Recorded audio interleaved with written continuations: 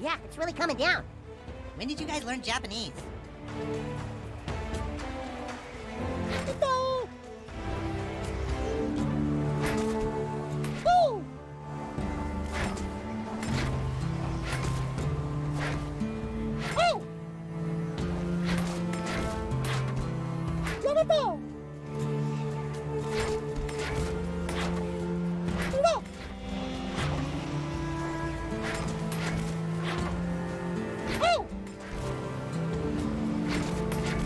Okay, that, that kind of hurt.